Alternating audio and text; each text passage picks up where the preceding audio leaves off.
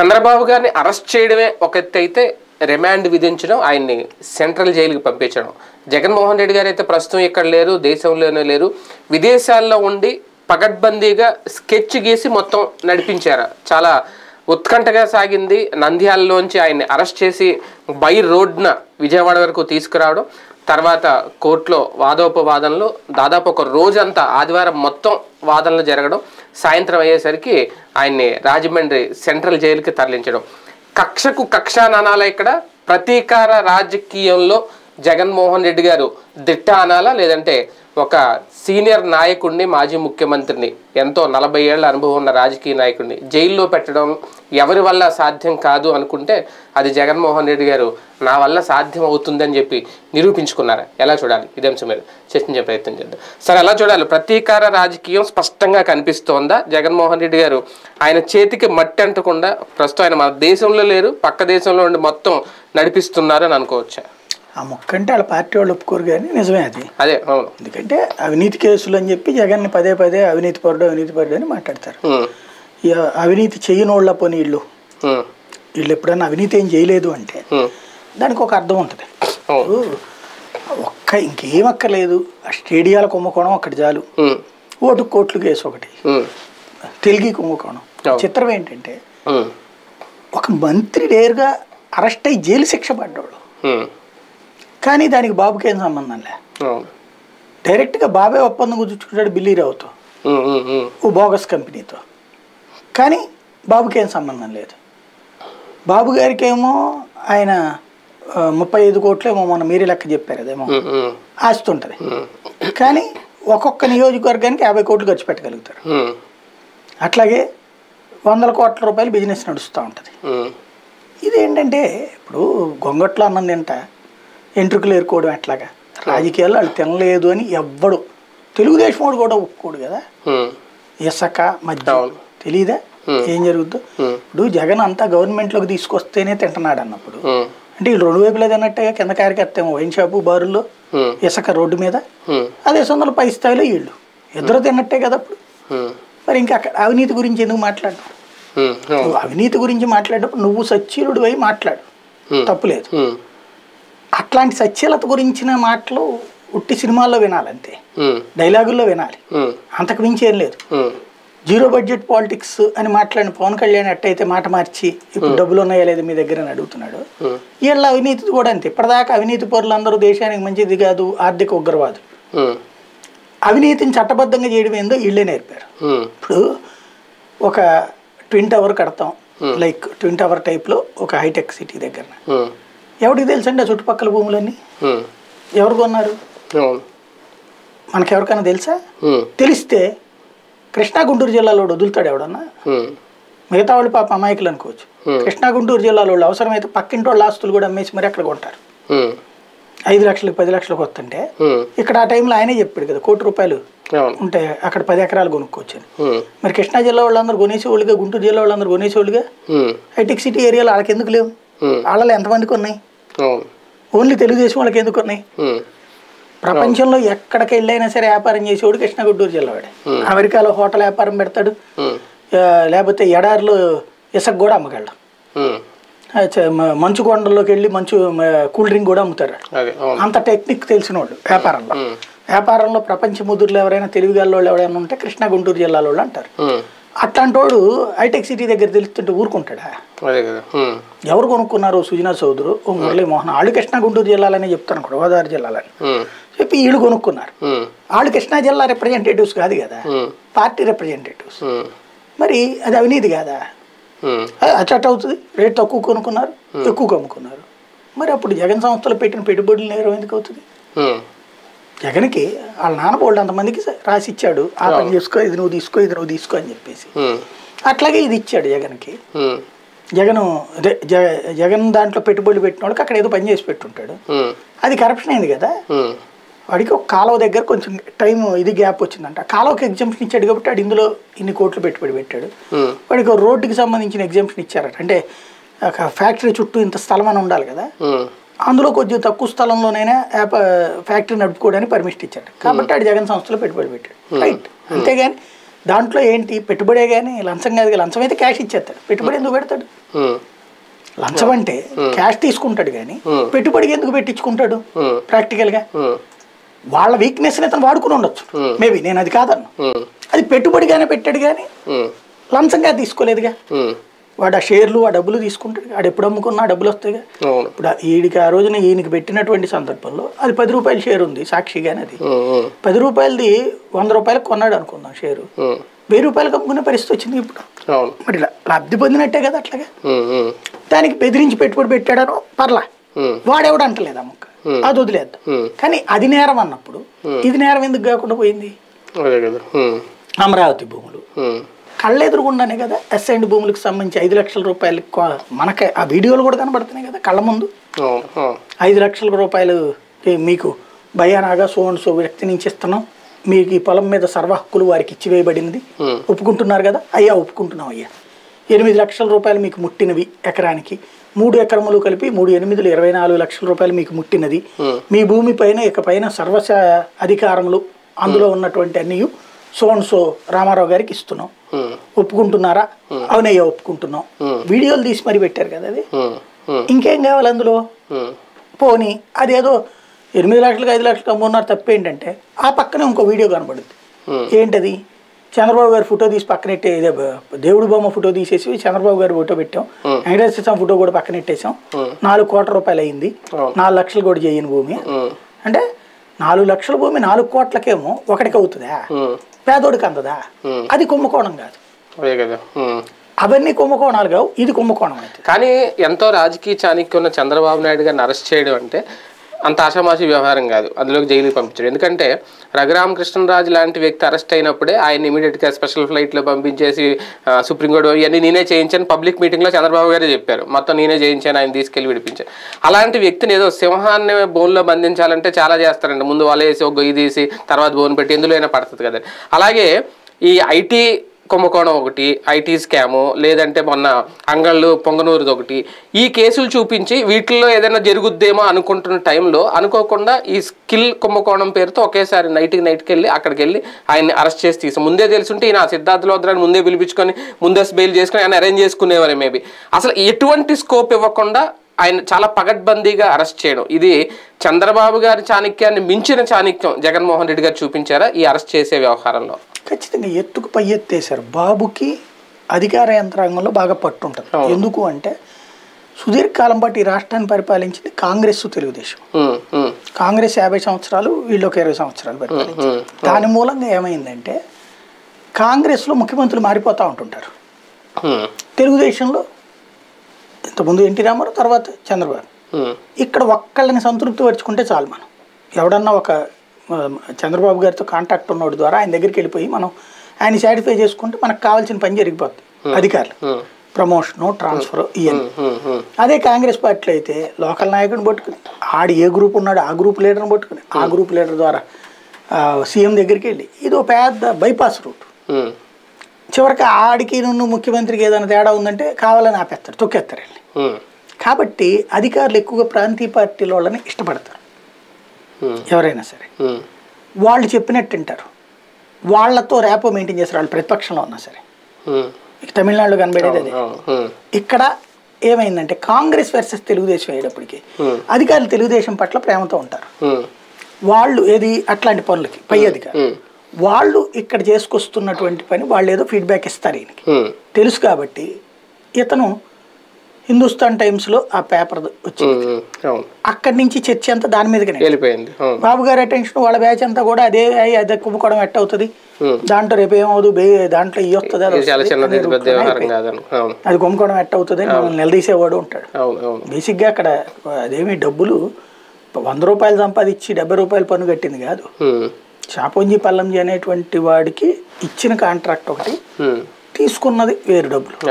అది ఇష్యూ దాంట్లో కదా అది పెద్దగా ఉండదు ప్రాబ్లం అనే ధైర్యంతో ఉన్నారు ఇటు పక్కన ఈ లోపు ఆయన నంద్యాల దగ్గర ఉన్నప్పుడు పొంగనూరు నుంచి అనేటప్పటికి యాక్చువల్గా అంటే రాత్రి బయలుదేరిపోవాలట ఆయన. అరెస్ట్ చేస్తున్నారని ఆయనకు ముందు ఇన్ఫర్మేషన్ ఉందట. ఎవరు ఇచ్చేశారట. ఉమ్, బయలుదేరిపోతుండగా పోలీసులు అందరూ వచ్చేసి కాటన్ చేశారు. ఆయన కూడా ఆగిపోయాడు. ఎందుకని? ఇది అనుకుని పొంగనూరుది. రేపు కోర్టులో ప్రొడ్యూస్ చేయగానే బెయిల్ వచ్చేస్తుంది అవును. ఎంతమందికి బెయిల్ వచ్చేసినా మనకెందుకు రాదు? ఉమ్. ఇంకోటి ఆ కేసులో అయితే కనుక పబ్లిక్ నుంచి కూడా పాజిటివ్ వస్తుంది. ఉమ్. ఒక ఉద్యమం చేసి ఆయన్ని కొడతారా? ఆయన మీదనే దాడికి వెళ్ళి ఆయనే చేస్తారా అన్న కోణంలో వెళ్ళిపోయారు. ప్లాన్ చేసుకో. సీన్ కట్ చేస్తే సిఐడి స్కిల్ అనే విషయం పొద్దున్నాక ఆయన తెలవాలి. ఓకే లోపు రాత్రి అంతా ఆయన బస్సులో ఆయన తెలియకుండా ఉంటుందా పదకొండింటికి వెళ్ళి వెళ్తే. ఆయన ఎస్పీజీ వాళ్ళని అడ్డం పెట్టి. పడుకున్నారు అనే కథ చెప్పించారు. ఆ రాత్రి తెల్లవారులు ఆయన ఎందరందరితోనో మాట్లాడుకున్నారు. కానీ ఎవ్వడికి కూడా స్కిల్ డెవలప్మెంట్ కుంభకోణం అని తెలియలే. అదే అంటున్నాను. అది మేనేజ్ చేయడం మామూలు విషయం కాదు. చేసుకొచ్చారు. రెండవది ఏంటంటే ఈయన అర్థం చేసుకోలేకపోయింది. మోడీ వచ్చాక అవినీతి చేయడానికి బీభత్సమైన ప్రణాళికలలో వందకి తొంభై తొమ్మిది వేసుకున్నా ఎక్కడో ఒక్క చోట మిస్ అవుతాడు. మీరు ఎప్పుడైనా మర్డర్ కేసుల్లో అత్యాచారం కేసుల్లో వీటిట్లో అంతా మేము కరెక్ట్గానే చేసామని అన్ని తుడిచేస్తారు. కారప్పొళ్ళు కూడా చల్లుతారు ఎక్కడో ఒక లూప్ హోల్ వదులుతుంది. దొరుకుతారు దాన్ని పట్టుకుని తెగలాగుతారు. ఇక్కడ జరిగింది అదే. అంతా పర్ఫెక్ట్గా చేసుకొస్తారు ఈయన అవును ఇక్కడ జరిగిన పొరపాటల్లా ఆ డిజైన్ టెక్ ఇది జీవో ఇచ్చి ఎంఓయు వేరే పేరుతో కుదుర్చుకోవడం ఉమ్. ఇది అసలు ఈయనకి గుర్తుందో లేదో మరి అది. డబ్బులు వచ్చేసినాయి పని నడిచిపోయింది. అంతే. కానీ రెండు వేల పంతొమ్మిది తర్వాత కూడా డబ్బులు కలెక్ట్ చేసుకున్నారు ఇక్కడ అది విశేషం చూడండి తను సీఎంగా దిగిపోయాక కూడా డబ్బులు కలెక్ట్ చేసుకున్నారు. ఆ సంస్థలో. కాబట్టి అక్కడ పాయింట్ వచ్చింది. పెద్ద ఎత్తున చర్చ ఇక్కడ. అంటే ఇదంతా జాగ్రత్తగా ముందుగానే డాక్యుమెంట్ ఇచ్చేసి వాళ్ళందరి దగ్గర స్టేట్మెంట్లు తీసుకుని స్కిల్ డెవలప్మెంట్ మీద నాకు తెలిసి నేనే ఒక పది పన్నెండు వీడియోలు చేసి ఉంటాను గతంలో అప్పుడు ఎవడు పట్టించుకోలే ఐదుగురు ఆరుగురు చూశారు ఒక వెయ్యి మందో రెండు వేల మందో చూసుంటారు వాళ్ళకి అర్థం కాలే మనం చెప్తున్నా కూడా. ఇవాళ దీంతో అందరికీ నాలెడ్జ్ వచ్చింది స్కిల్ డెవలప్మెంట్ కొనుక్కోవడం ఏంటనే. జగన్ అసెంబ్లీలో మాట్లాడిన రోజు కూడా నేను ఆ పాయింట్ రైజ్ చేశాను ఏ పత్రిక రాయట్లేదు సాక్షి ఒకటి రాసింది బట్ ఇది ఆషామాషి వ్యవహారం కాదని. అప్పుడు కూడా నేను వీడియో చేశాను మన మార్నింగ్ మ్యాగజైన్లో కూడా. ఉమ్. బట్ ఎవరికి పెద్ద క్యాచ్ కాల. అట్లాగే ఈయన కూడా పట్టించుకోలే ఏం కాదు ఆ పట్టించుకొని తనాన్నే ఈయన క్యాష్ చేసుకున్నాడు. కరెక్ట్గా చెప్పాలి పక్కా స్కెచ్తోనే వెళ్ళారు. నాకు తెలిసి జగన్మోహన్ రెడ్డి గారు ఏమన్నా ఒక నేమ్ బోర్డు మీద రాసుకున్నారేమో. నన్ను ఎయిర్పోర్ట్లో ఆపారు ఈయన కూడా ఎయిర్పోర్ట్లో ఆపాలి. నన్ను అరెస్ట్ చేశారు ఈయన కూడా ఈయన జైల్లో పెట్టారు. ఈయన అంటే వన్ బై వన్ చేసుకుంటా వస్తున్నారు. కంప్లీట్గా ఓకే సంక్షేమం ఓకే అద్భుతం. అది జనాలు యాక్సెప్ట్ చేస్తున్నారు అది పక్కన పెడితే. ప్రతీకారం విషయంలో కూడా అంతకంత ఐదేళ్ళలో తీర్చేసుకోవాలి అన్నట్టుగానే ఆయన పరిపాలన ఇప్పుడు జరుగుతున్న పరిస్థితులు. ఖచ్చితంగా ఉండొచ్చు. మేబీ. నాకైతే అది ఉన్నట్టే కనబడుతుంది. ఉమ్. ఎందుకు అంటే అది అతను అరెస్ట్ చేసి అదేదో అతని దోవన అతను లీగల్గా ఫైట్ చేసుకుంటే తప్పులేదు. ఉమ్. కానీ ఆ పాయింట్ నడ్డు పెట్టినే గత పన్నెండేళ్ళ రాజకీయం నడుస్తుంది. రాజకీయం రెండు వేల తొమ్మిది వేసుకోండి రెండు వేల పది. ఇది ఇరవై మూడు. పదమూడేళ్ళ నుంచి అదే రాజకీయం నడుస్తుంది. ఏంటది? నువ్వు సైకో గడివి. ఉమ్. నువ్వు ఇది నువ్వు అది నువ్వు అవినీతి. జైల్లో ఉన్నావు నువ్వు. జైల్లో ఎందుకు ఉన్నాడు నిందితుడిగా. కానీ జనాలకు ఏమన్నా నమ్మిస్తున్నారు నేరస్తుడని. కేసులు ఎంత పదమూడు వందల యాభై కోట్లు. జనానికి ఏం చెప్తున్నారు? లక్ష కోట్లు. జగన్ సైకో లేకపోతే రాత్రిపూట వాళ్ళ నాన్నతో మాట్లాడతాడు దేవుడితో మాట్లాడతాడు. ఇలాంటి ఏంటి? హ్యూమిలియేషన్ కదా. ఆ రోజున చేసినవన్నీ శృంగారం అని చెప్పారు. ఇప్పుడు అవే వ్యభిచారం అంటున్నారు. ఇంకోటి ఆ రోజున జగన్ మీదన ప్రాథమిక అభియోగాలు ఉన్నాయని కోర్టు చెప్పింది రిమాండ్ ఇచ్చిందంటేనే అయిపోయినట్టు జగన్ తప్పు చేసేసాడని కోర్టు ధృవీకరించేసిందని జడ్జిమెంట్ వీళ్ళు ఇచ్చేశారు. మరి ఇవాళ వచ్చేటప్పటికి రిమాండ్లో మేము నమ్ముతున్నాం ఫోర్ నాట్ నైన్ కూడా ఆయనకి వర్తిస్తున్నాం నమ్ముతున్నామని చెప్తే. దాంట్లో జగన్ కుట్ర చేసాడేంది. అవినీతికి జగన్ పాల్పడ్డాడంటే చంద్రబాబు పాల్పడ్డాడు. జగన్ చేసింది అవినీతి కాకపోతే చంద్రబాబు నాయుడు కూడా అవినీతి కాదు.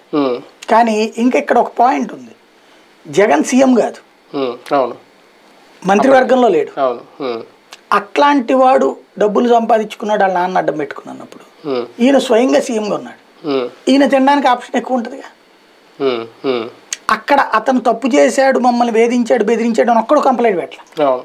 ఇక్కడ వచ్చేటప్పుడు గవర్నమెంట్ కంప్లైంట్. కనబడుతుందిగా. తేడా ఉంది కదా. అది చూపించడమే అతని ఉద్దేశం. కానీ ఇక్కడ రాజకీయ ఎదుగుదలకి చంద్రబాబు గారు రాజకీయ ఎదుగుదలకి లేదంటే పార్టీ కూడా మళ్ళీ అధికారంలోకి రావడం చాలా కష్టపడుతున్నారు. దానికి ఇది బ్రేక్ వేస్తుందా? లేదు ఒక ప్రతీకార రాజకీయంగానే ప్రజలు చూస్తారా. ప్రతీకార రాజకీయంగా ప్రజలు చూస్తే ఈయన మళ్ళీ గెలుస్తారు. లేదు అవినీతి కోణంలో నుంచి చూడడం ప్రారంభిస్తే గెలవడం కష్టమవుతుంది. ఇందులో రెండు కోణాలు ఉన్నాయి. అవినీతి కేసుల ఆధారంగానే జగన్మోహన్ రెడ్డి రెండు వేల పద్నాలుగులో గెలవలేదా. అవినీతి ఆరోపణల కారణంగా. అట్లయితే చంద్రబాబు ఓడిపోవాలి. లేదు అది అదే దాన్ని పట్టించుకోలేదు జనం అనుకుంటే కేవలం మేము ముగ్గురం పొత్తు కాబట్టినే గెలిచాము Hmm. తప్పించి అది పట్టించుకోలేదు అంటే చంద్రబాబు కూడా గెలుస్తాడని అర్థం. ఉమ్, ఇది వాళ్ళే చెప్పాలి. ఎందుకంటే వాళ్ళు అప్పుడు అట్ట చెప్పారు. Hmm. ఇప్పుడు అట్ట చెప్తారని. రెండవది సింపతి పాలిటిక్స్. ఆయన అరెస్ట్ చేసినందుకు. మనిషికి హత్యా ప్రయత్నం జరిగింది. ఉమ్, చౌబతుకుల దాకా వెళ్ళొచ్చారు. Hmm. కొంతమంది చచ్చిపోయారు అప్పుడు. గుర్తుంది కదా? బట్ ఆ తర్వాత జరిగిన ఎన్నికల్లో ఓడిపోయారు. ఓటుకి కోట్లు కేసు. అవును. జరిగింది. తెలంగాణలో ఓడిపోయారు ఆ తర్వాత ఆంధ్రాలో ఓడిపోయారు. రెండిట్లో. మరి జనం దాన్ని యాక్సెప్ట్ చేసినట్ట వ్యతిరేకించినట్ట? ఆ రెండిట్లో కూడా ఎదురుదాడి చేశారు. దుర్మార్గం చేస్తున్నారు. ఆ కోణంలో చూస్తే ఇక్కడ కేసు నడవాలి. ఏది ఫ్యాక్ట్ అనేది ఫ్యూచర్ డిసైడ్ చేయాలి. పెద్ద మనిషిని వయసులో కూడా పెద్ద మనిషిని అరెస్ట్ చేసి చాలా ఇబ్బంది పడుతున్నాడు జగన్మోహన్ రెడ్డి గారు అనుకుంటున్న టైంలో లక్ష్మీ పార్వతి గారు కానీ లేదంటే కొడాలి నాని కొంతమంది ఎన్టీఆర్ అభిమానులు. కొత్తగా లేవనెత్తున్న పాయింట్ ఎన్టీఆర్ ఆత్మకు శాంతి కలిగింది. ఈనాడికి ఆయన పైన ఏదో శివతాండవం చేస్తున్నారు ఏదో రకరకాల కామెంట్స్ అయి పెడుతున్నారు.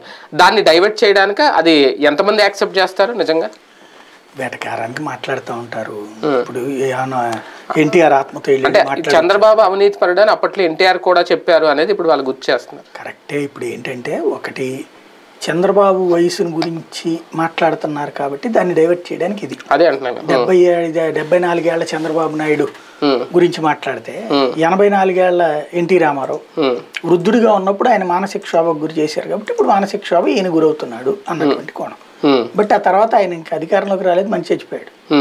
ఇక్కడ అట్లాగా తెలుగుదేశం పార్టీ స్ట్రాంగ్గా ఉంది బాబు గారి చేతుల్లో ఉంది. కేడర్ అంతా సంపద. ఇప్పుడు ఆ రోజున చంద్రబాబు ఆయన వెనకాల ఎవరున్నారని? ఎవరు లేరే. ఇప్పుడు బాబు వెనకాల పార్టీతో పాటుగా కొత్తగా మళ్ళీ ఇటు పక్కన పవన్ కళ్యాణ్. నారాయణ సిపిఐ వీళ్ళందరూ కూడా తోడున్నారు. తేడా లేదా. కానీ ఒక ముఖ్యమంత్రి స్థాయి నాయకుడిని టార్గెట్ చేయడంలో ఇంతకుముందు రాజశేఖర రెడ్డి గారు కానీ ఎన్టీఆర్ టైం దగ్గర నుంచి ఎవరు కూడా టచ్ చేయలేని ఏం చేశారు? ఇంకొకటి ఏంటి అంటే ప్రధానంగా మ్యారేజ్ డేకే ఆయన అరెస్ట్ని గిఫ్ట్ ఇచ్చారు జగన్మోహన్ రెడ్డి గారు.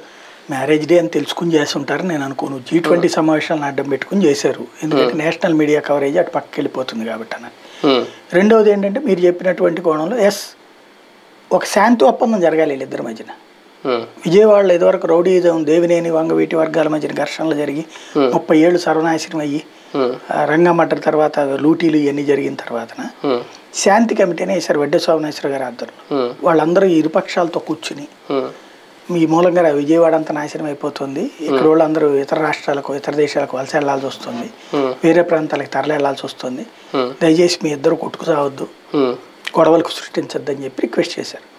అప్పటికి దేవినేని రమణ కూడా చనిపోయి ఉంటాం రంగా మర్డర్ కేసులో కీలకమైన వ్యక్తి.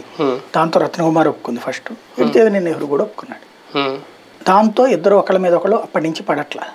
ఆ విధమైనటువంటి శాంతి ఒప్పందం జరిగింది. ఇప్పుడు వీళ్ళిద్దరి మధ్యన కూడా ఎవరన్నా పెద్ద మనుషుల ఒప్పందం కుదుర్చుకోవాలి. రాజకీయంగా మన ఇద్దరు మాట్లాడుకుందాం.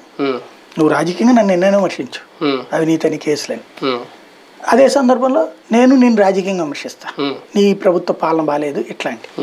అంతేగాని వ్యక్తిగతంగా జైళ్ళలో పెట్టుకునే ప్రతీకారం వద్దు. అలా చేస్తే ప్రతి అంశాన్ని తీసుకోవచ్చు. ఏదో ఒక అంశాన్ని పట్టుకోవచ్చు. పెద్ద విషయమేం కాదు. అద్దాక లోపల పడేయాలనుకుంటే అంటే రాజకీయాల్లో వ్యక్తిగత కక్షలు ఉండవు అంటారు. ఒకప్పుడు వైఎస్ రాజశేఖర రెడ్డి గారు చంద్రబాబు గారు రాజకీయంగా శత్రువులైనా మామూలుగా మిత్రులుగానే ఉండేవారు.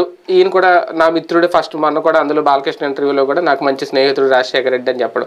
అలాగే ఇప్పుడు కిరణ్ కుమార్ రెడ్డి లాంటి వాళ్ళు కూడా కాంగ్రెస్ నుంచి వచ్చిన ఇప్పుడు భారతీయ జనతా పార్టీలో చేరంటే అసలు కాంగ్రెస్ బీజేపీ బద్ద శత్రువులు. అలాంటిది అంటే ఆ నాయకుల మధ్య అంత ఉండదు. కానీ ఇక్కడ జగన్ గారికి చంద్రబాబుకి మధ్య ఈ వ్యక్తిగత కక్ష వ్యక్తిగత పగ పెంచేసుకుంటున్నారా? అది కూడా జగన్ గారు పెంచేసుకుంటున్నారా? ఖచ్చితంగా చంద్రబాబు పెంచుకున్న దానికి ప్రతీకారం అంతే. ఇప్పుడు చంద్రబాబు నాయుడుకి రాజశేఖర రెడ్డి మిత్రుడే. మిత్రుడు కొడుకుని నాశనం చేయాలని ఎందుకు అనుకున్నావు నువ్వు? నీ కొడుకుని నాశనం చేయాలని నేను అనుకోలేదుగా? మిత్రుడు కొడుకుని ఎందుకు నాశనం చేయాలనుకున్నావు నువ్వు? ఇప్పుడు జగ రాజశేఖర రెడ్డి చేస్తేనే కుంభకోణాలు అనుకుందాం. అప్పుడే నువ్వు చేసుకుని అతను అరెస్ట్ చేయించచ్చుగా. నీ దగ్గర కోర్టులు అంత మంచి పవరే ఉంది కదా. ఎందుకు చేయలేకపోయావు నువ్వు ఆ రోజున రాజశేఖర రెడ్డిని?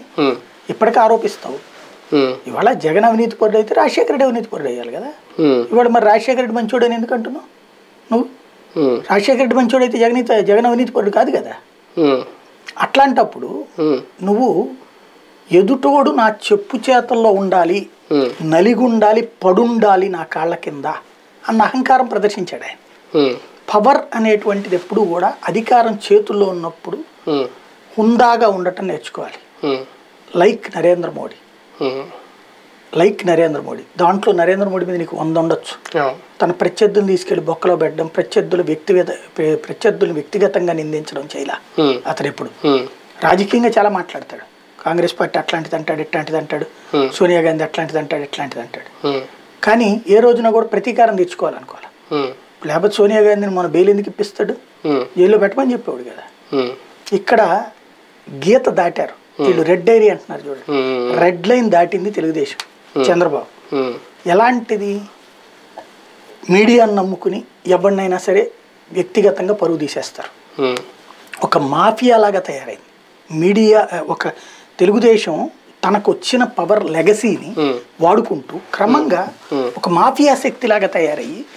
ఎవడైనా సరే నా నేను చెప్తే ఇప్పుడు ఇవాళ మీరు నేను గబక్కరం ఎందుకు పురచాలి ఏం చూసి వచ్చారు వీళ్ళు. పొద్దున్న లేస్తే నాలుగు నుంచి రాత్రి దాకా పడుకోండి మనం. కొట్టుకుంటూ కొట్టుకుంటుంటే నాలుగు ముద్దలు తింటుంటే ఆ ఎదవ ఎవడో డబ్బులు ఇస్తాడని ఈ ఎదవలు చెప్తారు. ఇచ్చేవాడు ఎదవలేడు వాడిగే ఎదవ మాత్రం మాట్లాడుతూ ఉంటాడు. మరి తీసుకొచ్చి ఇవ్వచ్చు కదా ఈ ఎదవలకి తక్కువైనాయి ఈ డబ్బులు పోయి మరి ఎందుకు అవుతారు? మనం ఇంత ముందు కూడా చెప్పా. ఒక కోటి రూపాయలు ఇచ్చి తీసుకోండి రా ఒక్క ఎదవా ఇవ్వడం. మళ్ళీ ఎవడు కాడు? ఐదు రూపాయలకి పది రూపాయలకి ఇది ఎంత బలుపు ఒక్కొక్కడికి? ఐదు రూపాయలకి అమ్ముడు అంటే ఐదు రూపాయలకి మనం పడిపోయేటట్టయితే ఎదవలు ఐదు రూపాయలు కూడా ఇవ్వలేని అడుక్కు తినే స్థితిలో ఉన్నారా? అంతే కదా. మరి ఎందుకు వాగుతారు? అంటే క్యారెక్టర్ అసాసినేషన్. ఇప్పుడు మన వాయిస్ కరెక్ట్గా వెళ్తుంటే మనల్ని ఎదవల్ని చేసేయాలి అర్జెంటుగా. అంతే. కానీ సమాధానం చెప్పు నువ్వు. ఉమ్, నీ తరపున వంద వీడియోలు పెట్టుకుని పెడుతున్నావు కదరు?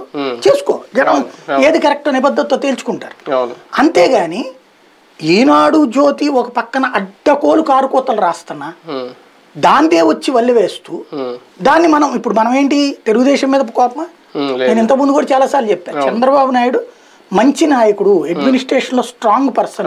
రెండు వేల నాలుగుకి ముందు ఉన్నటువంటి చంద్రబాబు ఎన్నోసార్లు చెప్తాను నేను పోలీసులు ఆ రోజున నిజాయితీగా పనిచేయబట్టినే రౌడీజం కంట్రోల్ అయింది ఫ్యాక్షనిజం కంట్రోల్ అయింది. అంతటి సమర్థుడైనటువంటి నాయకుడు ఈ ఎదవల మూలంగా నాశనం అయిపోతున్నాడు ఈనాడు జ్యోతి అనే ఎదవల మూలంగా నాశనం ఉమ్, మన కోపం అక్కడ. వాళ్ళు వ్యవస్థను గుప్పెడి పెట్టి వాళ్ళకి శత్రువు అయితే ఉదయాన్ని నాశనం చేయాలా? ఆంధ్రజ్యోతి ఏ ఏ మీడియానైనా నాశనం చేసేయాలి మా చెప్పు చేతలో ఉండాలి. వాళ్ళ గుత్తాధిపత్యం కోసం మీడియా వ్యవస్థలను కొలబడి చేస్తారు. మిగతా వ్యవస్థలు నాశనం చేసేస్తారు. వాళ్ళ గుత్తాధిపత్యం కోసం అడ్డకోలుగా అబద్ధాలు ప్రచారం చేస్తారు. ఇప్పుడు మనలాంటి వాళ్ళు ఏదో నిజం మాట్లాడితే చేస్తారు. ఇదే కాదు. జగన్మోహన్ రెడ్డి మీద ఏం చేసుకొచ్చారు? తన సంస్థలో పెట్టిన పెట్టుబడులే నేరమని. ఎంత క్యారెక్టర్ అసాసినేషన్ చేశారు అతను వ్యక్తిగతంగా? ఈవెన్ మన సీఎం అయిన తర్వాత కూడా ఈ లంబడి కొడుకులు ఎవడెళ్ళి చూసి వచ్చాడంటే బెడ్రూమ్లోకి వెళ్ళి చూసి వచ్చాడా రాజశేఖర రెడ్డి తో ఆత్మతో మాట్లాడుతున్నాడు. దేవుడితో మాట్లాడుతున్నాడని ఎవడో చెప్పిన అదోన బట్టరు ఏదో ఒక విష ప్రచారం బుర్ర జల్లేయాలి అంతే ఉమ్, వ్య- ఆ, ఇప్పుడు ఎన్టీ రామారావు దేవుడు. అదే ఎన్టీ రామారావు? అమ్మాయిల పెచ్చోడు డ్రగ్స్ పెచ్చోడు. ఏంటండి అది మద్యం కావాలన్నప్పుడు ఒక్కవడమా? మద్య నిషేధం కావాలన్నప్పుడు అయ్యో జనాలందరూ చచ్చిపోతారా? అదే మద్య నిషేధం ఎత్తేయాలన్నప్పుడు రాష్ట్రం చచ్చిపోతుంది? అలా అనుకుంటే మన చంద్రబాబు గారు కూడా ఏదో తాయెత్తు కట్టండి నేను అవుతాను ఏదో అన్నారట ఆ. వీడియో కూడా వైరల్? దానికి ఏమైనా సమాధానం అని చెప్పారు? కొంత దానికి ఇలా ఏమైనా రాశారా? ఏంది బాబు గారు ఎట్టయిపోయారు? లేదు కదా? నువ్వు అవతల వాళ్ళని ఎక్కడ ఎందుకు మెగా ఫ్యామిలీ. చిరంజీవి గురించి ఎంత దారుణం అతి దారుణము ఆ రోజున శ్రీజా ఉదంతం ఎంత రచ్చ చేశారు? ఎన్ని కుటుంబాల్లో ఎన్ని గొడవలు నడవట్లేదు? దాన్ని ఎంత రచ్చ చేశారు? వీళ్ళ కుటుంబాల్లో జరగలేదా? మొన్న నాకు అతనిది పెళ్ళయ్యే ఆ చనిపోయే రోజు దాకా నాకు తెలియదు తారక రత్నది కుటుంబం ఇష్యూ అదే కానీ అదే పవన్ కళ్యాణ్ ఎంత చేశారు? చిరంజీవిది ఎంత చేశారు? వాళ్ళ అమ్మాయిది ఎంత చేశారు. సరే ఆయనకంటే సిగ్గు లేదనుకోండి వెళ్ళి వాళ్ళ కుటుంబం ఆయనకే మళ్ళీ అండగా నిలబడతాడు ఇంతకుముందు మా కుటుంబాన్ని రోడ్డుకి ఇచ్చాడని చెప్పి మళ్ళీ వెళ్ళి ఆయన దగ్గర దిగుతున్నాడు అదే ఆయన వ్యక్తిగతం. వదిలేద్దాం.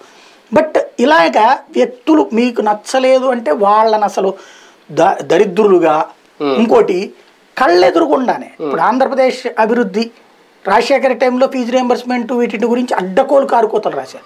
కరెంటు గురించి కానీ ఫీజు రియంబర్స్మెంట్ గురించి కానీ ఆరోగ్యశ్రీ గురించి కానీ తర్వాత మళ్ళీ వాళ్ళు రాజశేఖర రెడ్డి దేవుడు జగన్మోహన్ రెడ్డి ఏం చేయలేదు. రేపు జగన్మోహన్ రెడ్డి తర్వాత ఏదైనా అయిపోతే కనుక అప్పుడు అదిగో జగన్మోహన్ రెడ్డి బతుకున్నప్పుడు అని చెప్పి చేస్తారన్నమాట. అంటే ఎంత నీచంగా ఇదే ఆయనకి ఇవన్నీ ఈయన ఏమనుకుంటున్నారంటే అవన్నీ నాకేం సంబంధం అనుకుంటారు. నువ్వు నిన్ను ఇప్పుడు నమ్ముకుంటున్నారు కాదు. నిన్ను అడ్డు పెట్టుకుని వాళ్ళు నడుపుతుంటే అదంతా నువ్వేం చేస్తున్నావు? ఓన్ చేసుకుంటున్నావు వాళ్ళని.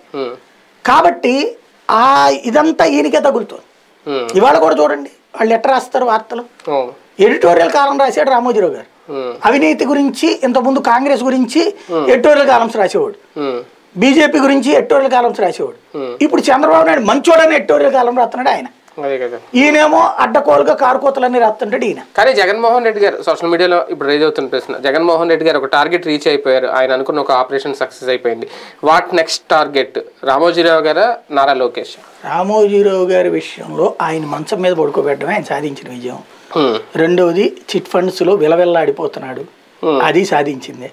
కానీ ఆర్థిక మూలాలు కొడతాడు. ఒక్కటే పెట్టుకో ఎవరితోనైనా పెట్టుకోవచ్చు తప్పలేదు నీలో స్వార్థ చింతన లేకుండా ఎదుటోడితో గొడవ పెట్టుకున్నప్పుడు. ఏమైనా ప్రాబ్లం లేదు. ధర్మం ఫైనల్గా గెలుస్తుంది. కానీ నువ్వు అధర్మ ప్రవర్తనతో అవతల వాళ్ళని నాశనం చేసి. అవతార పురుషుడిలా ఫీల్ అయ్యి. రాముడు చెట్టు చాటు నుండి బాణం వేస్తే దాని వెనకాల ధర్మం ఉంటుంది. నువ్వు సోనియా గాంధీ చాటు నుండి జగన్ మీద బాణం వేసావు. ఆ బాణం ఈవేళ ఆడెవడో పిఎస్ శ్రీనివాసు. మనోజ్ పార్థసాని వైపు నుండి నీ మీదకి వచ్చింది. రాజేష్. నువ్వు ఎదుటివాడికి ఏం చేస్తావో అది నీకు జరుగుతుంది. అయితే నువ్వు ఎదుటివాడి విషయంలో వాడు తప్పు చేస్తుంటే దుష్ట శిక్షణ చేసావా? You are real great warrior. కానీ అవతల వాడిని దుష్టుడిగా చిత్రీకరించి ఏమక్కర్లేదు ఎన్టీ రామారావు విషయంలో చిత్రీకరించింది ఏంటి? జగన్మోహన్ రెడ్డిని కానీ రాజశేఖర రెడ్డిని కానీ చిత్రీకరించింది? ఇవాళ వాళ్ళందరూ దుర్మార్గులే. ఇవాళ అకస్మాత్తుగా ఎన్టీ రామారావు దేవుడు. ఎట్ట మారిపోయాడు ఆయన చచ్చిపోయాక ఇన్నాళ్ళ తర్వాత. రెండు వేల తొమ్మిది తర్వాత దేవుడు అయ్యాడు. రెండు వేల తొంభై తొమ్మిది తర్వాత తొంభై ఐదు తర్వాత ఆయన దెయ్యం అయ్యాడు ఎందుకని? అట్లాగా? ఇంకోటి ఆవిడ క్యారెక్టర్ని అసాసినేట్ చేసి చేసి వీళ్ళు అన్నం ముద్ద పెట్టనటువంటి వాళ్ళు హ్మ్. నాన్నకి అన్నం ముద్ద పెట్టినటువంటి వాళ్ళు వీళ్ళందరూ పక్కన ఉంటే అమ్మాయి ఎందుకు వస్తుంది అసలు? ఎట్ట పెళ్ళి చేసుకుంటాడు? షార్ట్ నుంచి వెళ్ళడానికి ఏమైనా సినిమాలో హీరోనా?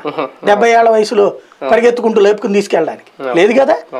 ఎవరు లేకపోబట్టినే కదా ఆయన దగ్గర కూర్చుంటే వచ్చింది ఆయన చివరి జీవితంలో ఏదో తిప్పలు పడ్డాడు అయిపోయింది దాన్ని గురించి అమ్మాయిని ఎంత క్యారెక్టర్ అసాసినేషన్ చేశారు వీళ్ళలో అధర్మ ప్రవర్తన ఎంత సర్వనాశనం అంటే క్యారెక్టర్ అసాసినేషన్ చేశారంటే లక్ష్మీ పార్వతి తర్వాత రాజశేఖర్ రెడ్డి. జగన్మోహన్ రెడ్డి నరేంద్ర మోడీ. పవన్ కళ్యాణ్ చిరంజీవి. ఆరుగురిని క్యారెక్టర్ అసాసినేషన్ చేశారు. ఇక చిన్న చితక మనలాంటి వాళ్ళు ఎంతమందిని చేస్తారో తెలుసు. అదే కదా. ఇంతమంది నువ్వు క్యారెక్టర్ అసాసినేషన్ చేస్తూ. ఏంటంటే నేను దైవాంశ సంభూతులం. అనుకుంటే. కాలం అనేటువంటిది కాటేదా అదే కదా. ఇప్పుడు అదే జరిగిందేమో. రైట్ చూద్దాం. మొత్తానికి జగన్మోహన్ రెడ్డి గారు అనుకున్న టార్గెట్ రీచ్ అయ్యారా? ఇంతవరకు ఎవరు చేయలేని సాహసం. చంద్రబాబు గారిని అరెస్ట్ చేయడం జైల్లో పెట్టించడం. అది కూడా విదేశాల్లో ఉండి ఆయన చక్రం తిప్పుతూ చేయాలనుకున్నది చేస్తున్నారా? ఇది ప్రతీకార రాజకీయంగా ప్రజలు చూస్తారా? లేదంటే చంద్రబాబు అవినీతి పరుడని ప్రజలకు చూపించడంలో జగన్ సక్సెస్ అయ్యారని అనుకుంటారా? వేచి చూద్దాం